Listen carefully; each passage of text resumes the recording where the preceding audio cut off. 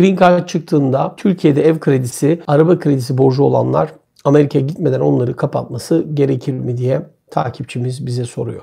Şimdi tabi bu güzel bir soru. Tabi sizin Türkiye'deki bu tarz kredi borçlarınız Amerika'yı çok ilgilendirmeyecek. Dolayısıyla bu noktada kapatmak zorundasınız demek yanlış olur. Tabii ki eğer biliyorsunuz bu son Amerikan devletine yük olabilme durumu ile ilgili e, durumun değerlendirmesini yaparken bu tarz borçlar durumunu e, olumsuz olarak görebilirler.